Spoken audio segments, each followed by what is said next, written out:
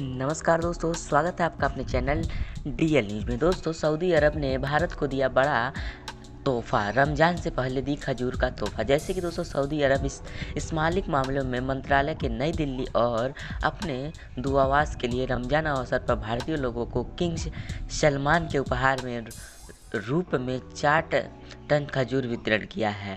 वितरण किया और दौरान में रो रोयावाह के खिलाफ स्वास्थ्य प्रोटोकॉल के ध्यान रखते हुए उल्लेखनीय और मंत्रालय 24 देशों में सांस्कृतिक इस्लामी केंद्रों के माध्यम से किंग्स सलमान के रमज़ान के लिए उपहार का वितरण किया।